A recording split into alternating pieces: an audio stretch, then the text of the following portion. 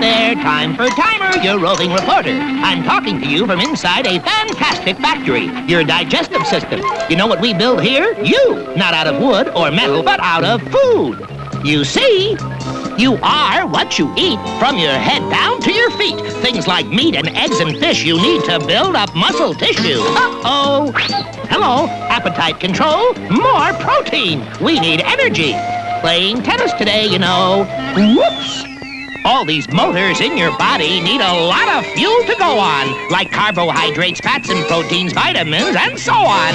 What's left over forms the building blocks you need, indeed, to grow on. Yes, you are what you swallow, so that next time you feel hollow, don't just fill your face with any old kind of treat.